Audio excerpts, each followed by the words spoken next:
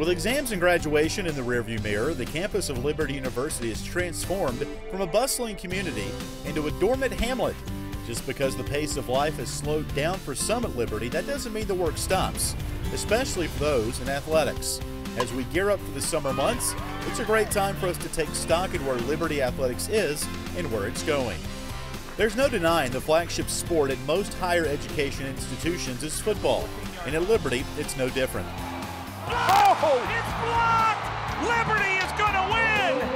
Liberty, champions of the Big South! The fire continues to burn bright for the Flames as they enjoy the tidal wave of momentum from their seventh Big South championship and first trip to the FCS playoffs.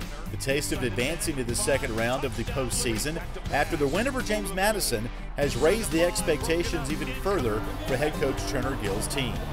Basketball has also brought recent attention to Liberty thanks in large part to the Lady Flames' 16th Big South title and another trip to the NCAA tournament. And Liberty, Big South champions, beating High Point 74 64. The men's team is just two years removed from its last NCAA trip, and this past April, Flames Nation welcomed back Ritchie McKay as its new head coach. Ritchie was the head coach of Liberty for two seasons, including a school record tying 23 wins in 2009. I can't wait to coach you guys, and, uh, and I'm excited what God's going to do in and through uh, your lives here at Liberty. The depth of talent is not only relegated to football and basketball, the Flames have been able to win a Big South record 11 Sasser Cups awarded to the Big South member institution with the most successful year athletically based on an average point system. Other sports in recent memory that have bolstered the Flames' footing with conference titles include cross country, track and field, baseball, volleyball, men's golf, men's and women's soccer, and field hockey.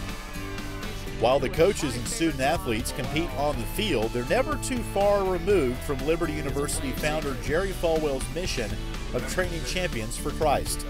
There's constant reminders around campus and on the field of competition about the true meaning of being a student athlete at Liberty. Through the success on and off the field, the Liberty Flames brand is quickly growing from a statewide following into a national name. And as the push continues towards what Liberty hopes one day will be an FBS invitation that will raise the visibility of the entire athletics department, the Flames will continue to honor the Lord in everything they do. For Game On, I'm Alan York.